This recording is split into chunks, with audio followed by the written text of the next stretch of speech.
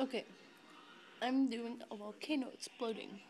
Okay, you'll need cup,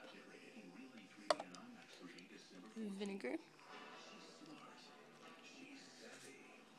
baking soda.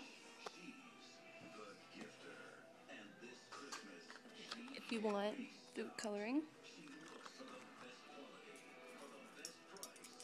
um, tablespoon and some dishwashing detergent. That's all. Okay, first of all, you're gonna take your cup and you're gonna fill it about halfway with vinegar, like so.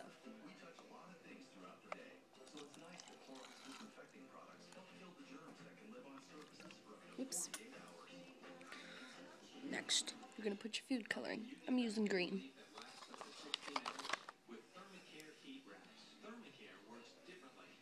Put how much, as much as you want.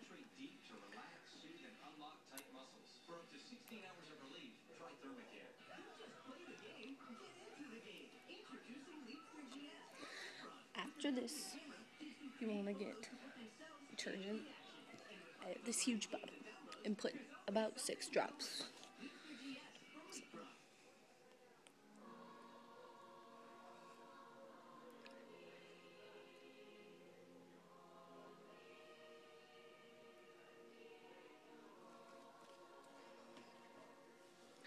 Next, you're gonna get your tablespoon out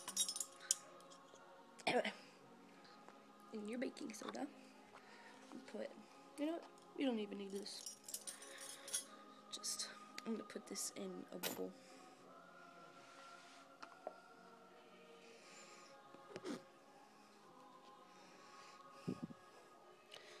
You're just gonna take the baking soda and pour it right on in there.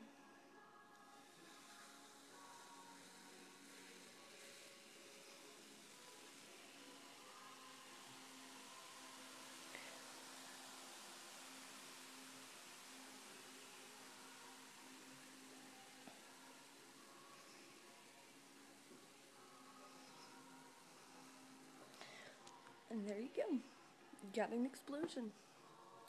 Perfect for volcano projects. Hope I helped.